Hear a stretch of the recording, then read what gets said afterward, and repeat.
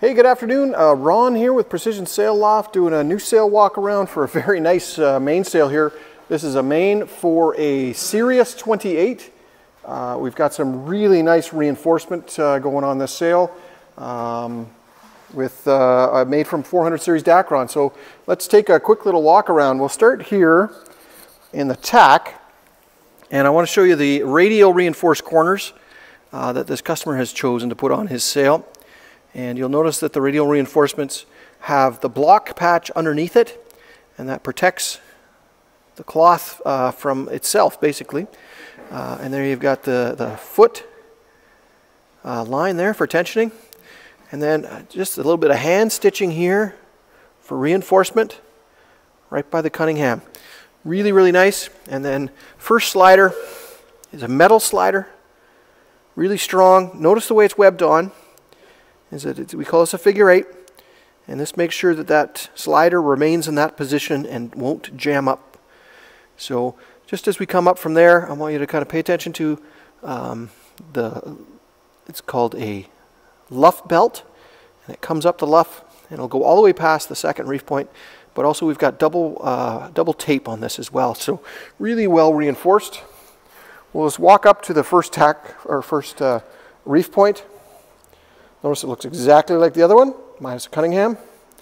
And then we'll go across the reef, and there's a reef belt with reinforcement patch at each tie down location. So very, very well put together. Notice that luff belt continues on up to the second reef point. Exactly the same as the others. Reef belt for reinforcement. Metal slider at each one of these because it is going to be under stress. And then the luff belt comes up and ends just past our uh, last reef point there. So we'll keep walking up and we'll stop here. We'll take a look at one of the other sliders. Not metal, uh, doesn't need to be. This is a nylon slider, uh, very smooth operation, so it won't jam up in your track. And it's webbed on the same way with a little bit of chafe uh, protection there and the vinyl behind it. So really nicely done. We've got a full batten up here at the top, and that's the batten receptacle. And again, anytime that there's more tension and more uh, stress, we've gone with the metal slider.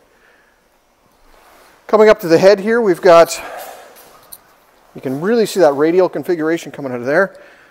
Nice little head plate. It's an alloyed. Nice and light, but strong. Really well done. And then we'll just quickly reach uh, down the leech here. Uh, we can stop and take a look at the Sirius logo, sail numbers, and here's the uh, battens with batten pockets. So these are partials. They go across and they're reinforced at the end.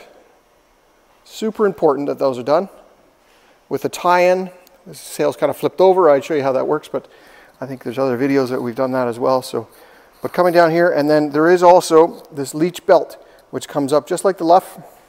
A leech belt that comes up for reinforcement, pulls some of those forces up and out of that corner. Beautiful sail. Now here we are at, that, at the clew, and we'll just quickly come into the clew here. A couple of things. we have been doing this quite a bit now, is having a, a, a coil of Velcro for uh, customers to, a little more reinforcement. You wrap that around your boom. Good sized clew slug. Leather wrapped corner as well. Really nice. And then the radial corner coming out with the patch underneath it. So there you go guys. This is an amazing uh, mainsail for a Sirius 28. Nice reinforcements, couple of reef points, one full batten, three partials. This is going to last this customer a long, long time and hopefully win him a couple of races.